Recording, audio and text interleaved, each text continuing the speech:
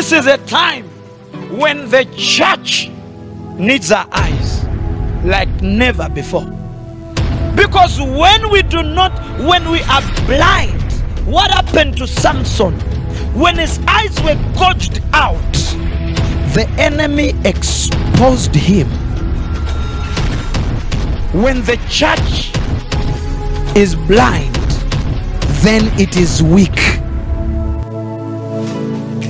When we are blind, we are weak in prayer. However much we do the gymnastic, we shout, we scream, as long as we cannot see, ladies and gentlemen, as long as the church keeps blind, then the enemy has a higher advantage even when it comes to spiritual warfare. So we need to contend for our eyes.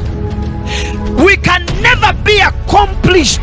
We can never be fulfilled in the call of God upon our lives if we are blind. Because as long as we can see, then we can seize. Even when we cannot see, we lose position. It is until we can see that we are able to take position. Ladies and gentlemen, the church needs to contend for our eyes. Let the church see again. There is no better way the enemy can fight the church than causing them to be blind.